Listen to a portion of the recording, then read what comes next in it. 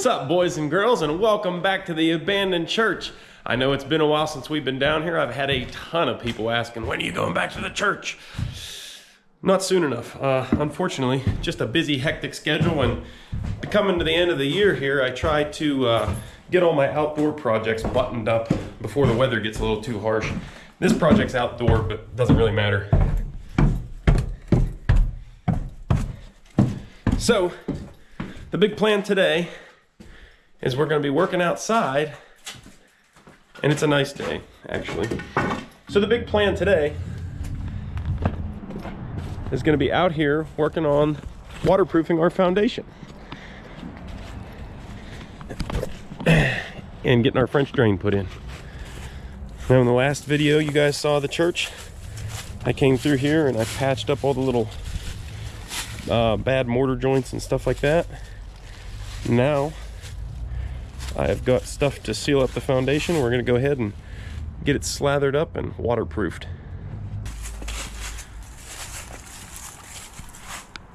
Getting pretty late in the fall season. I need to get this hole button back up and get the excavator hauled back out to the farm. I got big plans for the winter out there. So, let's get to it. So first things first, before we go putting our rubberized coating on the outside of the wall, we have some holes we need to take care of first. Now, if you guys have seen the videos of me pouring this section of the wall here, I ran tiebacks, we call them, through the wall. And that keeps the forms from spreading and blowing apart when you load them with concrete. So on that first phase of the wall, I just ran rebar right through the wall. You can still see Here's one of the top pieces sticking out right now. And those two top pieces got really stuck in there. The rest of the ones down lower on the wall, I was able to just thread right out.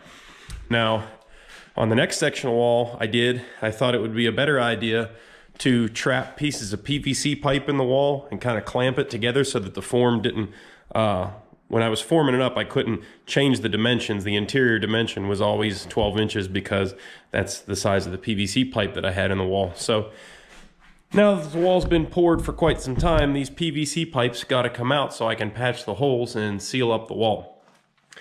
Now, uh, I hadn't thought much about how to get these pipes out of there other than uh, I was just going to try and drive them out of there or I was going to leave them in there and just patch them up.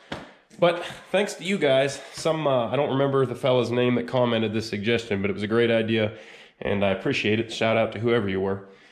Whoever it was suggested, oh, you just take yourself your little propane torch here and just start cooking that little bugger and let it cook for a while and then uh, eventually you'll be able to drive it out. So I already tried one over here just for a proof of concept and it does work pretty good.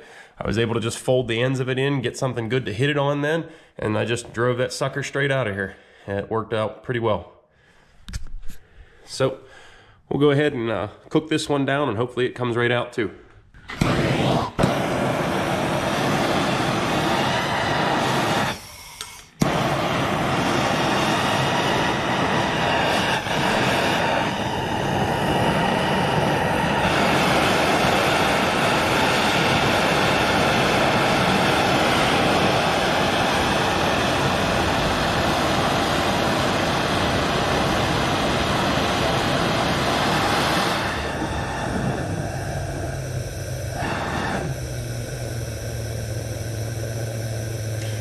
Try to get the whole pipe hot in there and melting soft so it'll break loose from the concrete. Let's give that a shot. Now, as I've discussed in previous videos, there are better ways to do this, but you have to like buy a whole system. And if for just doing a little bit of concrete work that I was here, it was not worth it. So, got the edges folded in where I can beat on it. Maybe this one's not gonna wanna work as well.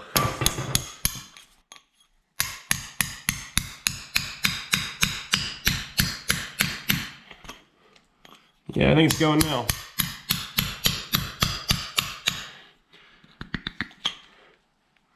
Oh yeah, baby, it's going.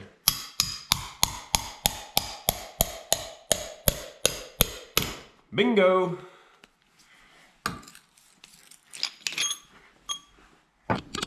And we now have a clean hole. So that pipe should just be sticking out of the wall on the other side and we'll just have to pull it out. There should be plenty to grab hold of out there.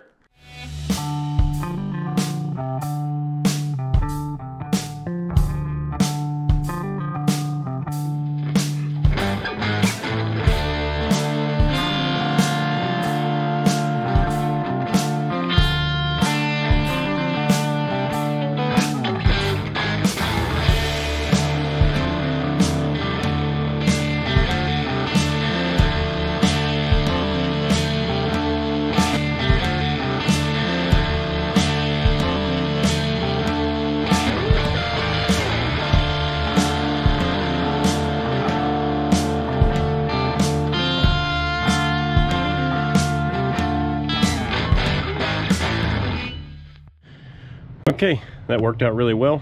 I got all of our pipes out of there. Now we're ready to go ahead and patch the holes. Now what we're gonna use to do that is uh, hydraulic cement. And uh, this stuff is some serious stuff. You can even use this underwater, which is pretty impressive. Anyway, uh, the biggest thing I'll warn you about with this stuff is you gotta make sure you wear gloves because this stuff will tear your hands up if you do not. So you got to work really fast with this stuff. It sets in like uh, three minutes or something.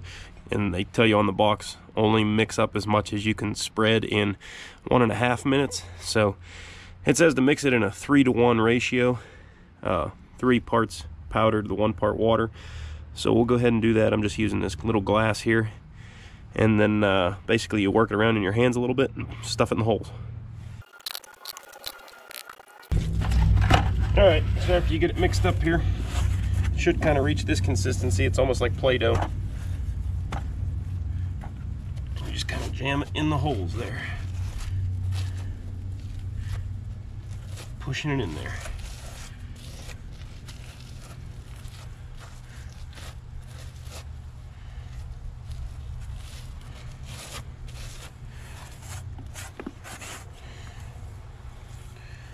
And you gotta move, like I said, pretty quick because this stuff tends to take off on you. They recommend just applying it with your hand too. They said not even to trowel it.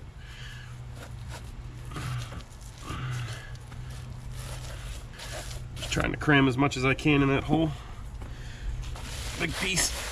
Smear it off with the palm there. Move to the next hole.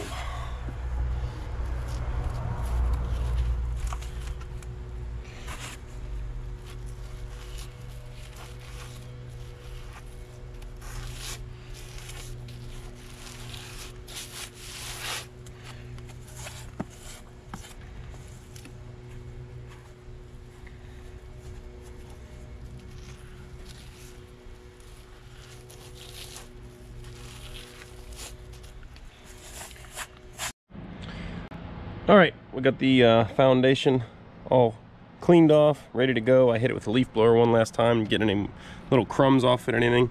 Here's the uh, coating that we're gonna be using.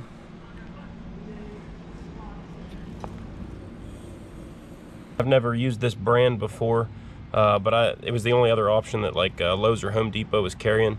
And uh, they have that Blackjack brand, and I'm, I've used that stuff, and I'm not a big fan. So uh, this stuff had some pretty good reviews from what I could find. So we're gonna get, go ahead and give it a shot. Uh, it seems like it's more of what I want, which is a, actually like a, a rubberized, uh, like a, a solid sheet. Go ahead and get this stuff mixed up here.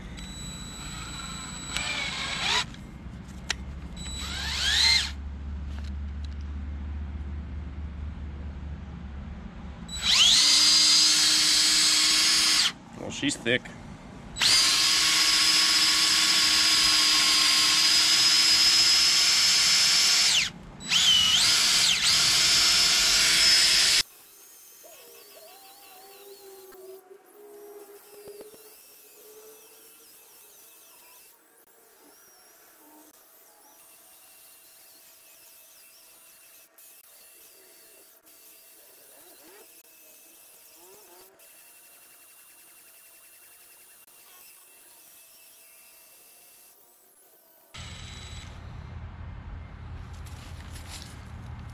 Hmm.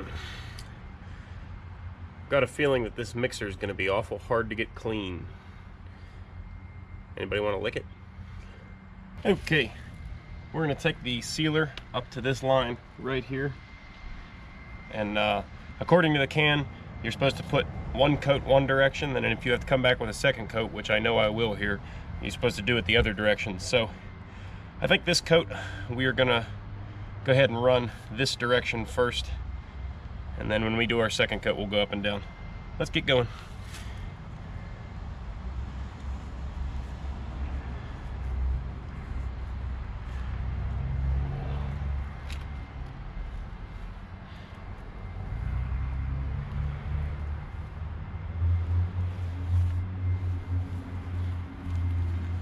Oh yeah, this is gonna take a while. Actually, it almost kind of seems like I'm gonna have to go both directions both times to get it into all these little nooks and crannies. Ugh, this is gonna be a process.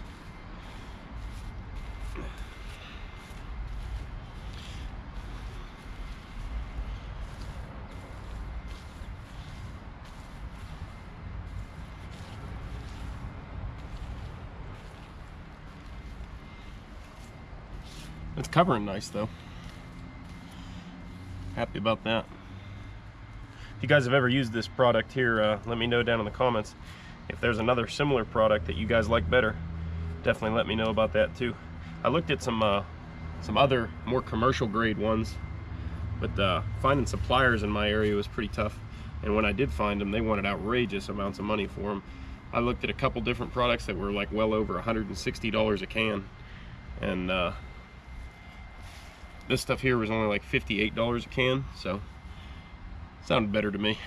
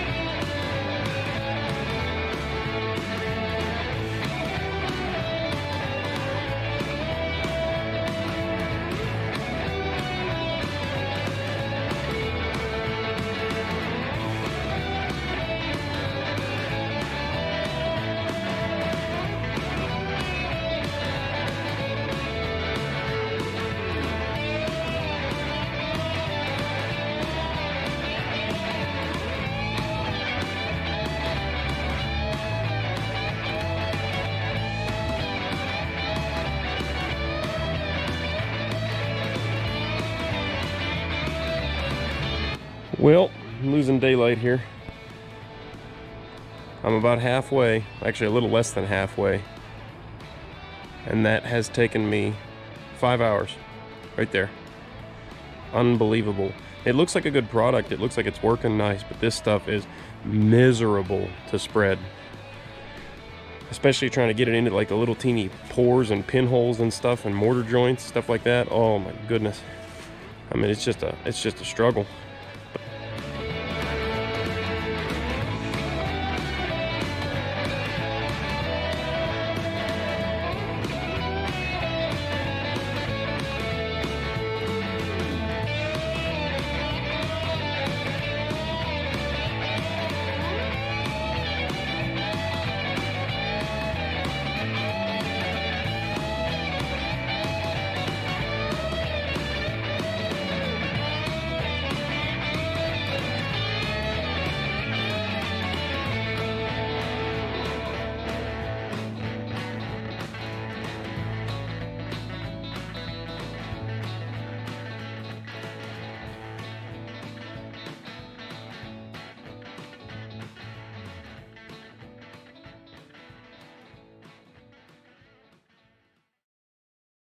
Well, guys, that was absolutely atrocious. Uh, that was probably one of the most mi miserable things I've ever done uh, in a hurry, as much as I could hurry that.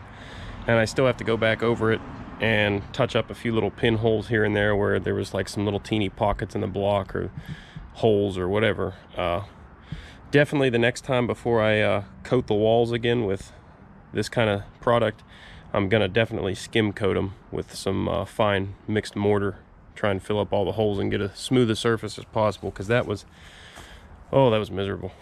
all right, we got our waterproofing coat all done here. I've come back today and actually touched it all up and filled in all the little pinholes that appeared. Uh, basically, almost did a complete second coat on it because really the first coat was probably thicker than most people's two coats. So the texture of this wall made it such that it sucked up a lot of uh, a lot of sealer. But this is our next product we're going to be installing. I call this stuff dimple board. Uh, it's catching on in a lot of places, though it is not super common in our area. Um, what this is is a, a board that you lay against the wall and it has all these raised dimples here and a filter fabric on the front. So this will be standing up right here and the dirt will be up against the fabric here and the water is able to get through the fabric and then into the dimples and it'll drain all to the bottom right into your French drain and be gone. So well, that's what we're gonna install.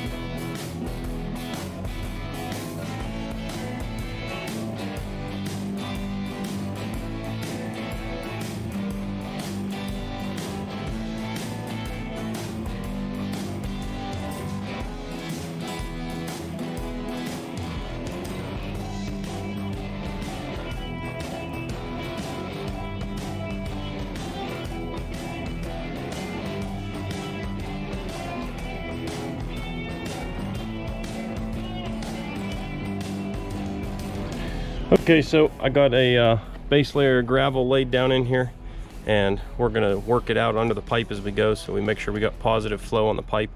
Uh, this is a nice thick filter fabric. I laid this down underneath and we're basically gonna make a burrito out of the pipe and the gravel.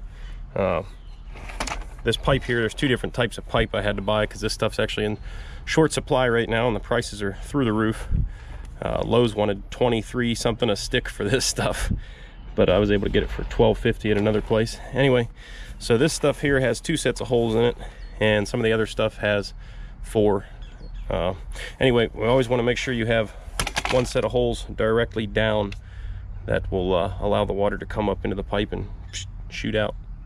So at this end here, the beginning of our run, I'm gonna run a 90, come up and have a clean out right here above grade. That way, uh, if something would ever happen and this thing get clogged up, we could easily run a snake through it and fix it up.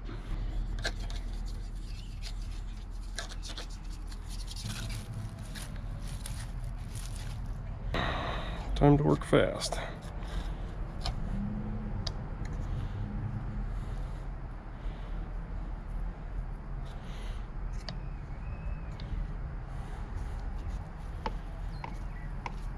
All right, there's one side glued up. We'll stick that on right here, have a clean out. Okay, we got the first pipe in, got the clean out fixed up there.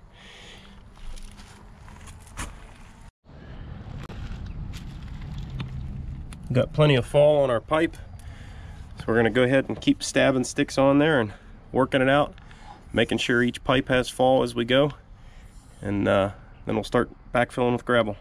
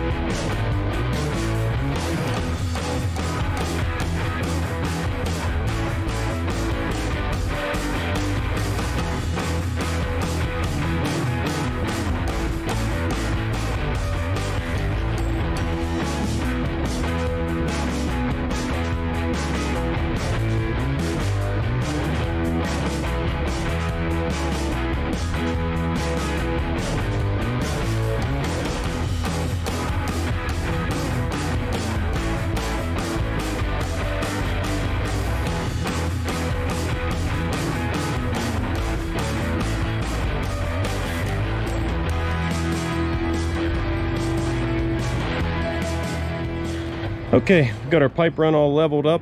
It has got positive drain from end to end. And uh, I locked it in with uh, some gravel. You know, you just sweep a little bit of gravel up over the joints and make sure it's not gonna go anywhere. Now I'm gonna fire the machine back up and go ahead and start backfilling.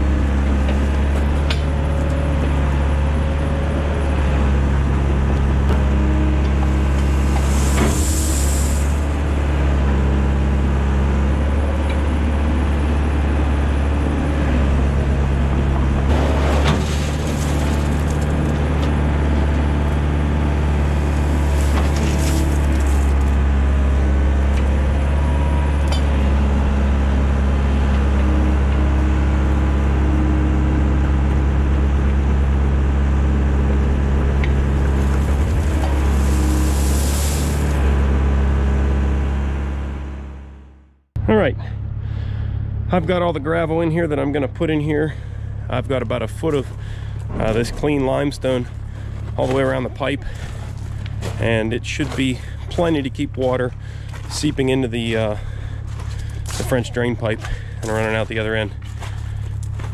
The reason the gravel looks different up here than it does down at that end is because the pipe before I buried it, if you remember, tapered out from the wall slightly to line up with my ditch over there that shoots over the hill. And the reason I did that was because I didn't want to run the ditch line directly through where that old cistern used to be.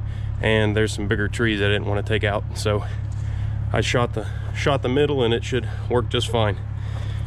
Next thing I'm gonna do is take this fabric and we'll fold it back over and uh, try to secure it up on the wall so we don't get any dirt down on our stone and we'll start backfilling.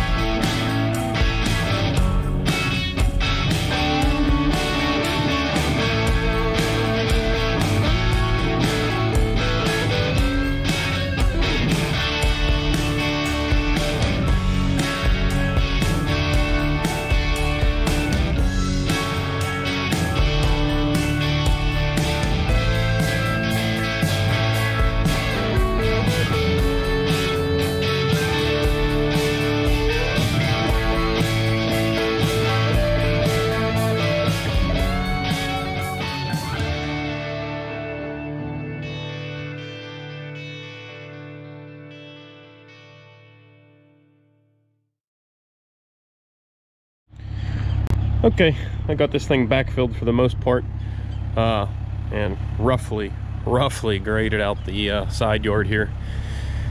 It's about impossible to grade anything nice with this machine right now unless you take 12 years to do it with a bucket uh, because the cutting edge is about ripped off of the blade. I need to fix that.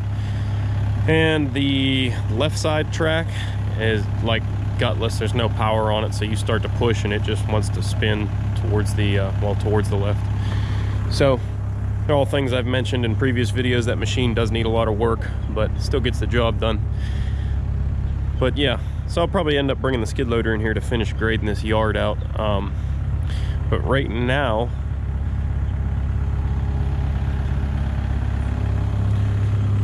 right now we're gonna go ahead and finish our drain line out over the hillside there. I'm gonna bring the dump truck back here and dump what's left of the gravel right here on the ground. And that way I can teaspoon it over here into the ditch and kind of bed the pipe in it a little bit.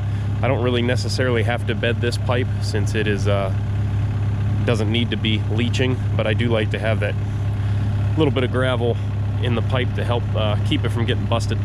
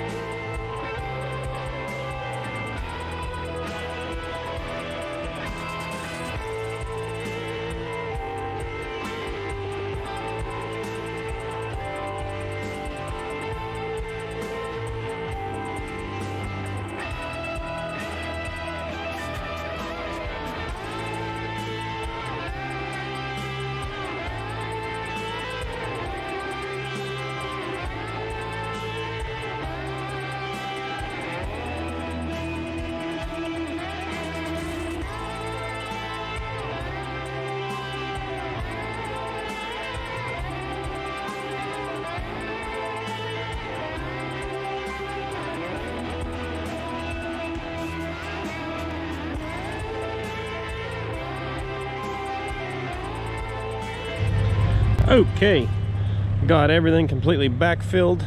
Uh, still gonna work the edges in when I come regrade with the skid loader. Uh, as I said, I've left it really rough grade because uh, I'm gonna, A, I'm gonna tear this yard up again probably three or four more times in the process of gutting the building out, having dumpsters drug in here and everything else. Um, not too worried about it right now, just trying to get it slicked off so it doesn't hold water. And I left a pile of dirt over here for when I do bring the skid steer up. Always nice to have some extra material to work with. And whatever material I'm left with when I'm done grading this whole side, I'm gonna take onto that side and use to level up whenever I put in a parking lot.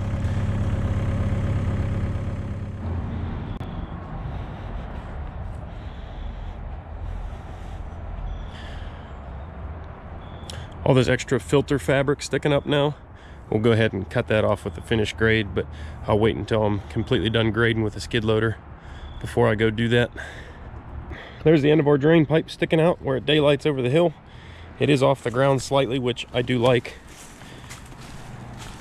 But uh, what we'll do right now go ahead and stick this cap on here keep any critters from climbing up in there and uh, clogging things up.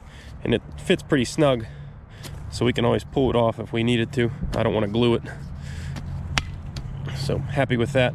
And uh, I'll probably get some bigger like softball size rock. We call those number ones.